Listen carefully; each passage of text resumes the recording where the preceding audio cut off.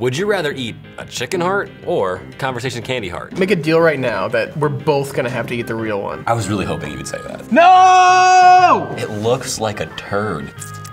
Why is it so rubbery? okay, cheers. All right, we're gonna go three, two, one. Three, Two, two. I'm like nervous. one.